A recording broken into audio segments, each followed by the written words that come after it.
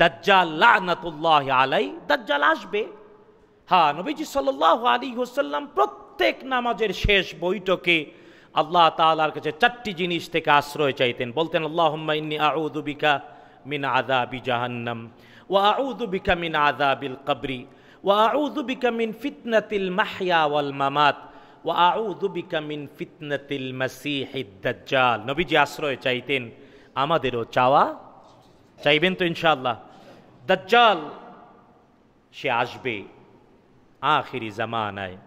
আমাদের এই সমাজে নাই, যদিও এই নিয়ে বিতর্ক অনেক। দাজ্জাল তার কিছু ক্ষমতা দেবেন কে?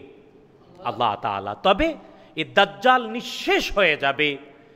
ঈসা ইবনু, এই যে এখন কত জাতের অস্ত্র তৈরি হচ্ছে। আল্লাহ তাআলা ঈসা ইবনে মারিয়াম আলাইহিমাসসালামের নাকের শ্বাস দাজ্জালের জন্যে মহামারী অস্ত্র। কন্যা সুবহান আল্লাহ ইসাব মারিয়াম আলাইহিমাসালামের শ্বাস লাগবে দাজ্জালের গায়ে।